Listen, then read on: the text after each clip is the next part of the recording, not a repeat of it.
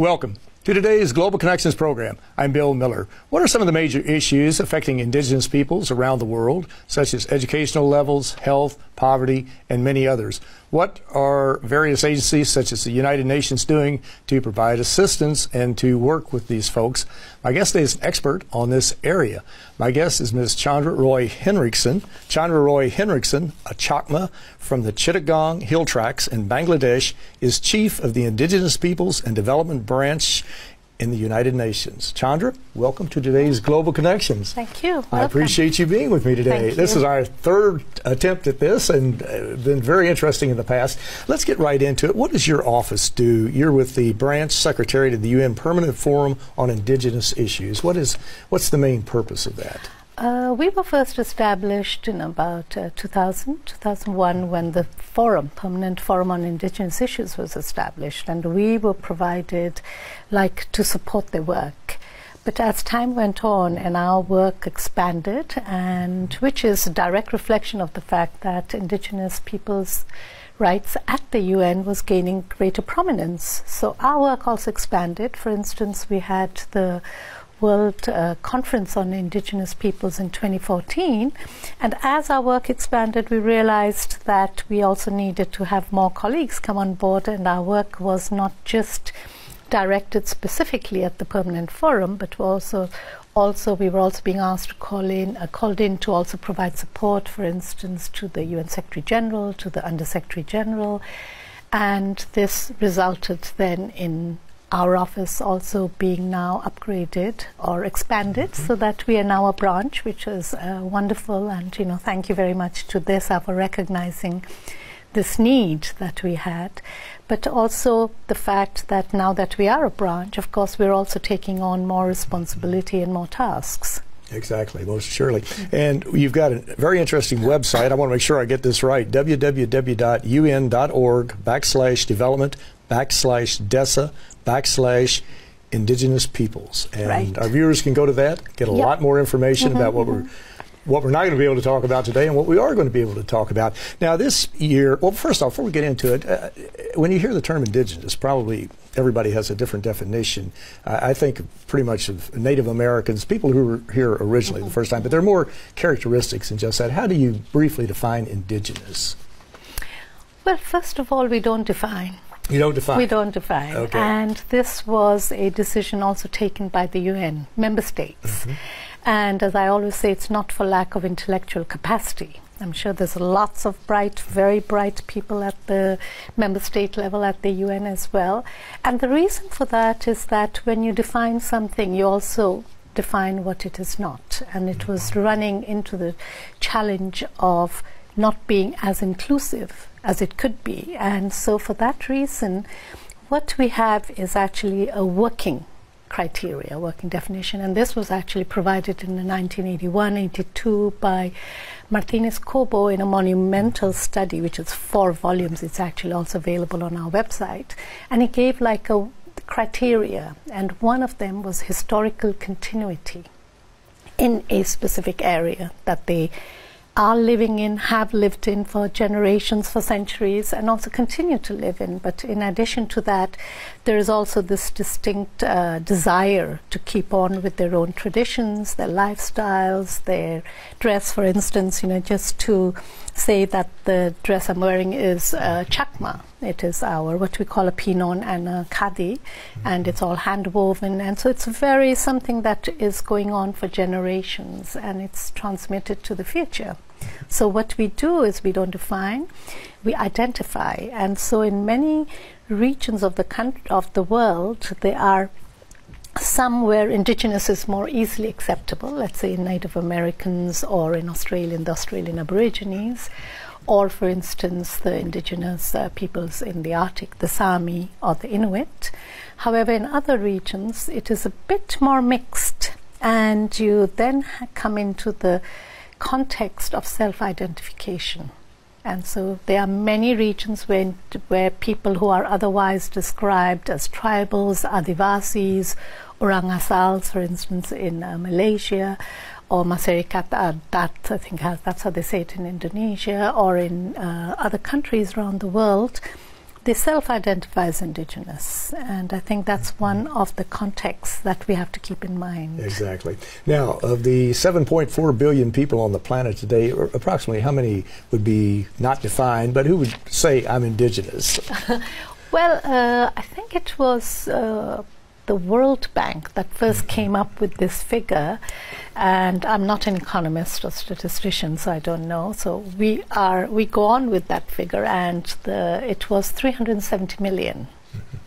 And the, it is all around the world in different countries. I mean, whether it's in Sweden, Finland, Norway, or in the United States, or in Latin America and the Caribbean, Asia, Africa, Pacific. Mm-hmm. It is uh, people who are either recognized sometimes officially by their governments and otherwise also self-identify as indigenous. Now, in 20, well, let's see, in March of this year, you had a permanent forum on indigenous issues and you had a gathering of mm-hmm. people from all around the world. What was the purpose of that and what were some of the major recommendations that came out of it? What were some of the major issues you dealt with? Mm.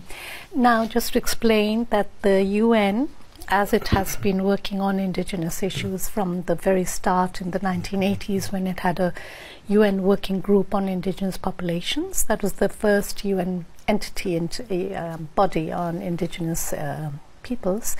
And now it has three mechanisms. One is the expert mechanism on the rights of indigenous peoples, the special rapporteur on the rights of indigenous peoples, and the permanent forum, which is permanent forum on indigenous issues, which is based here. I mean, they have the annual gatherings here at the UN.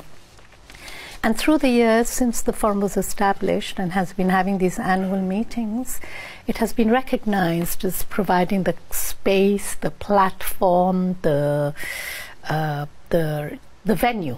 Mm-hmm for the global gathering of indigenous issues. And here you have member states, you have ministers, we even have presidents coming, for instance, President Morales, and we've also had community leaders or elders or indigenous women who come. And it's about, if you count in total, it's about over over 1,500 to nearly 2,000 people who come. That's a large year. number. It's a large number, and we have Although it is a little bit bigger, our team is about 12 colleagues, so we have about 100 each, 100 plus each to, to work with. but who's counting? right. But it's also a time when the UN kind of wakes up and suddenly, you know, you have all these indigenous peoples coming, for instance, since we are in in uh, USA, we have a Native American chief mm-hmm. doing the formal opening at the General Assembly Hall, and that's something very powerful when you see these people coming. You'll have, you know, women coming, Indigenous women. You'll have leaders, ministers, and it's a very good place to come to if you're working on Indigenous issues. You also have academics, and you know, time to network. They also showcase events around it, so we have a lot of parallel events going on. Mm-hmm. So it's a very interesting and exciting time. You should definitely be there. I will. Thank you. Now, the issues, if I think of indigenous peoples, I think of people living in the Amazon area, mm-hmm. Native Americans, uh, Aborigines, you mentioned the Maoris in New Zealand, just on across the board. And they are, they have some, well, we all have issues we're dealing with, challenges yeah. we're dealing with. And in some areas, there, there are health issues, there are educational issues, there are issues of losing their land, being mm-hmm. forced off of their land. Uh, what are some of the major ones that you're dealing with now? I'm sure all of those I mentioned are probably very important, but what are some of the ones you're looking at now, and what's mm-hmm. what progress have we made as far as maybe providing assistance or uh, helping people to improve their educational level, nutritional level, and that mm-hmm. type of thing? Well, you know, you'd actually asked what was the theme of the permanent forum mm-hmm. session this year, and the theme was lands, territories, and resources. And this is in direct recognition to the fact that land is central to the identity of indigenous peoples. They don't have just a, it's not just an economic or consumption relationship that they have with the land, but it's also where they have the spiritual basis, their cultural identity. So it's very, very, very key in terms of the survival of indigenous peoples, their rights, their identity, and their, you know, the whole people, the nations.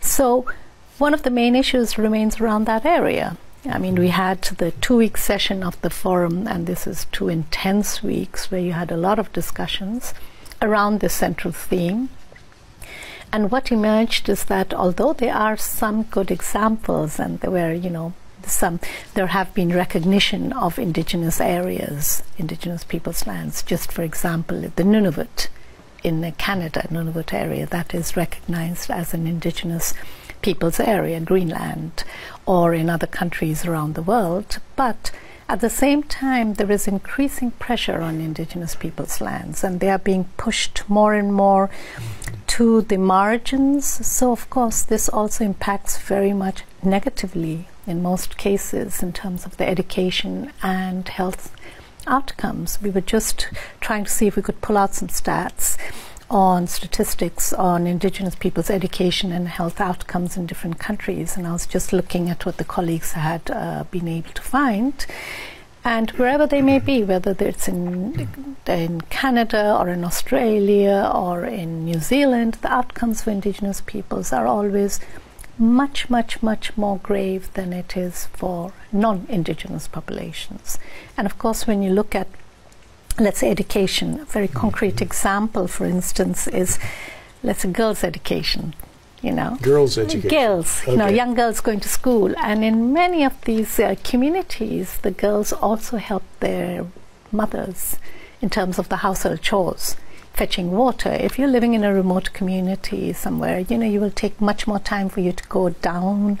I'm just thinking of where we I live. It's uh, we have a dammed river, which is now a lake, and you know the girl will go down, fetch water, come up. By the time she comes up, you know she may be too late to go to school. Mm-hmm. So this, of course, has a impact on her development and also in her future, so that it's also limited in terms of its potential.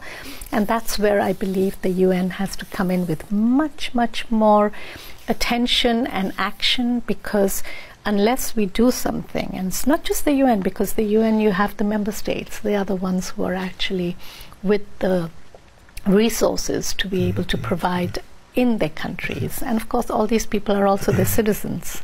So it has to be equal access, equal uh, service delivery, and these are responsibilities and actions that the UN is urging. And of course, the mm-hmm. Permanent Forum, as an advisory body to the UN, to the Economic and Social Council, is also stressing that and noting in its report that there has been progress because we are now 11 years since the UN Declaration on the Rights of Indigenous Peoples was adopted, and yet progress is very much uneven, both within and mm-hmm outside of countries, within countries, but also within the countries themselves. So it's very mm-hmm. much uh, it's mixed picture. In some countries, you have recognition of indigenous peoples. Bolivia, for instance, just to cite an example, actually took the UN Declaration and made it in national law. There are other countries, Canada now is also looking into it and working on other um, interventions that it could provide to redress the injustices that Indigenous peoples in Canada have faced. Other countries are also working on that, and that's where I believe that we can provide some mm-hmm. support, some guidance, you know, sharing of good practices. And of course, that's very true. The governments and the non governmental organizations, mm-hmm. UN agencies, can all provide, they can lend a hand to help in this particular area. And it's very important, especially with governments, because they so often have to defend or help defend the mm-hmm. rights mm-hmm. of indigenous peoples. Well, you're watching Global Connections Television, which is a privately funded, independently produced program. The opinions expressed on Global Connections are solely those of the moderator and his guest. We would invite our viewers to go to our website at www.globalconnectionstelevision.com to view previous programs. Also, if you're involved with any type of television or media outlet, perhaps PBS or community access television, or you're involved with it an educational institution that has an intra-campus television hookup, or you have a website and you just want to help share our programs, please feel free to do so. Global Connections Television is provided at no cost as a public service to help us better understand international issues and how they impact our lives. Today we're talking with Ms. Chandra Roy Henriksen, who heads up the Indigenous uh, uh, issues division at the uh, United Nations, and she's bringing us up to date on many of the issues confronting indigenous peoples around the world, the 300 plus million. Chandra, you mentioned the U- United Nations Declaration on Indigen- or Indigenous Issues. Mm-hmm. That's right. What exactly is that? Well, the UN Declaration of the Rights of Indigenous Peoples was adopted in September 2007 by the United Nations General Assembly, and it was 20 years in the making. And 20 years of intense discussions, lobbying, and mm-hmm. advocacy. But also, when the declaration itself was adopted, it was consensus that this in itself, that uh, it actually embodies the minimum standards for the well-being, survival, and dignity of indigenous peoples around the world. There were four countries that voted against the sign, uh, against the adoption of the declaration, and all four countries have since reversed their positions and now support the declaration. So in a way, now we have unanimous uh, agreement around the declaration. Which is, uh, excuse me, no small accomplishment. That's no quite a small. quite an accomplishment to get. How many countries at that time? 180 something. Yeah, were. Uh, today you have 193, but 93. that's that's a tremendous accomplishment. Yes, some abstained, mm-hmm. but you know, but others, you know, it was by the majority of the UN General Assembly.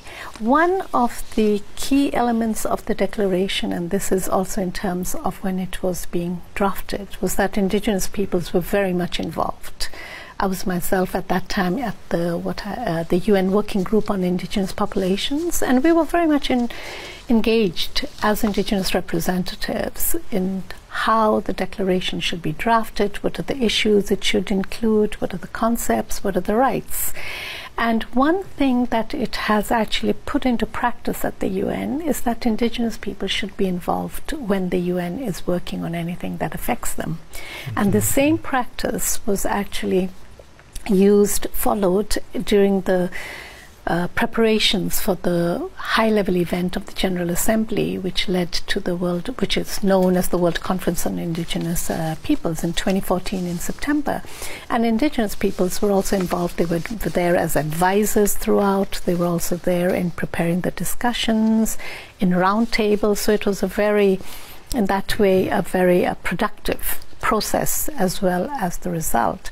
And with the World Conference now, we have an outcome document, which also leads to a lot of different issues that we are now following up on. And one of them was that the UN was asked to prepare a system wide action plan. Because, of course, the UN, there's so many different agencies, there are many of us colleagues, all working with great passion and commitment, but all with many different issues. And they said, how can we actually synergize all this and get them all to work together? In a much more coordinated, and of course that will mm-hmm. also be more powerful and stronger. And so we have the system-wide action plan, which was prepared under the guidance of the Undersecretary General of Department of Economic and Social Affairs, where we are based, and it was adopted under the leadership of the Secretary General, and it was agreed by the Chief Executives Board in November 2015, and now we are in implementation because of course where are indigenous peoples the most uh, relevant and active? It's at the country level. So this is where we are actually working with the UN country teams with our UN agency colleagues to make sure that the declaration is implemented at the country level through the system-wide action plan. Mm-hmm, which is very important. Now, we've talked a little bit about the education, the oh, uh, human, human rights. We've talked about nutritional levels, uh, different things like that. But one thing we have not focused on too much is probably the number one problem, and that's climate change. And of course, indigenous peoples are right on the front line. We're all experiencing adverse climate change situations, but indigenous peoples live it every day. And I'm sure that it I can't say for sure, but anyway, I would imagine just about all of the indigenous peoples around the world are having some negative effects from climate change because it seems like every country is having negative effects. How how do how do you deal with this particular issue? Is this one of your top priorities, or where where does that fall? It is becoming one of our top priorities more as we you know as we go and. Uh, we were just, you know, when you look at climate change, it's affecting the whole world. Global yes. warming, Exactly. And uh, you know, I was just on a personal level. My my husband is from Norway, so I thought, well, it's great. You all will have, you know, he's from the Arctic Circle. You'll have warmer weather there. But what's the effect of global warming on these Arctic areas? Is that the snow is melting. Which means that you know you'll have less salmon, the reindeer, the waters. It's not just that they're melting, like even in uh, Greenland. Mm-hmm. It has an impact on marine life, on the levels of the coastal waters, which is also, for instance, in the Pacific. Sometimes with these melting waters. Mm-hmm the ice, the water levels, sea waters are on the rise, which means some of these low-lying areas then are going to be flooded. Where does that mean indigenous people will go? And this is something which indigenous peoples actually have been facing for many years. It's now that suddenly the world is waking up a bit more to what are the challenges they face. And it's uh, it's one where indigenous peoples actually have much they can contribute. They've been living with this for many years. They, for instance, um, when we had the tsunami in 2004 in uh, Asia, mm-hmm. Southeast Asia, they they were looking at some of the examples where indigenous peoples actually c- could tell that there was something that was going to happen just because of the way the animals were or the plants were or mm. something. So they are there's a lot of traditional knowledge there that could be used and utilized because not just that they're at the front lines, but you have to remember they've also been mm-hmm. able to survive at the front lines and I think that's where we have a lot of lessons we can learn from. That's very true. I remember reading articles on when that uh, one of the tsunamis that hit that area that many of the people, the indigenous peoples who lived there and had experienced this before, got in boats and started driving, moving out to sea out. because the tsunami was coming in under the surface, and they knew that they wouldn't want to be on the shore. That's for sure. But you know, the uh, climate change is it's uh, the climate's deteriorating very quickly. The gov- the Intergovernmental Panel on Climate Change, the UN uh, IPCC, came out with a recent report saying that we have 10 years at best to try to get it under control. And yet we see more and more scientific studies of the oceans are warming. That's going to destroy the coral reefs. There's more acidification in the oceans. As you mentioned, the, the ice caps are melting. Polar bears' habitats are going to disappear. The reindeer habitat's going to disappear. And we've got to take immediate action. Will this be a high priority item when you meet again next year? And will you be focusing on it? Yes, because next year the theme of the Permanent Forum, and I have to say, full admiration to the Permanent Forum members that in their wisdom, this year they identified lands, territories, and resources. Last year it was actually conflict. And this year, next year, it's going to be on traditional knowledge.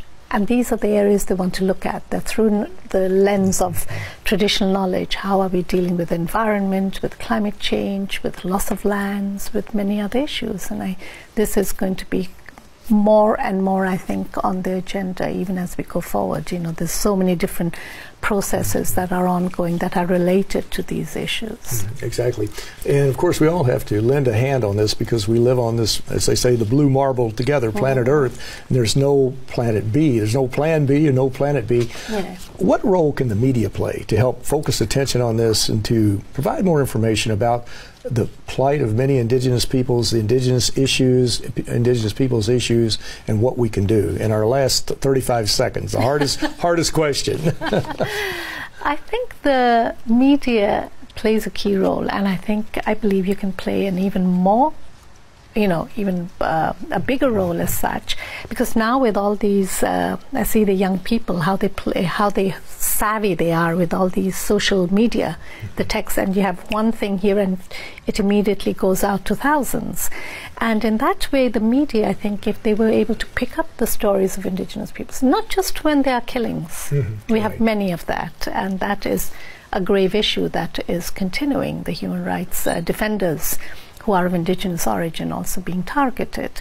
But the fact also of the good practices that could be done, or the fact that this is an issue that is coming up, if they can draw attention, that also will mm-hmm. perhaps help diffuse the tension, prevent the conflict from going further. If there is media attention, as you said, you know, many of these with the human rights uh, defenders, these are happening, many of them in remote areas where there is no media attention. And I feel that the mm. media could actually play a role in highlighting this and in such way preventing it from happening. Mm-hmm. you have a great role to play. It's very, very important that they do that, and hopefully they will play that role. But Chandra Roy Henriksen, it's a very important topic, and I look forward to hearing about your next forum, and especially talking about traditional knowledge. we never had a chance to get into talking about the medicines that are provided from the rainforest exactly. in Brazil and different places. But I want to thank you so very much oh, for a you. very interesting and a very informative program. thank you. Very good to have you. Thank you. Be here with you. Always a pleasure. I'm Bill Miller. Thank you for joining us today on Global Connections Television.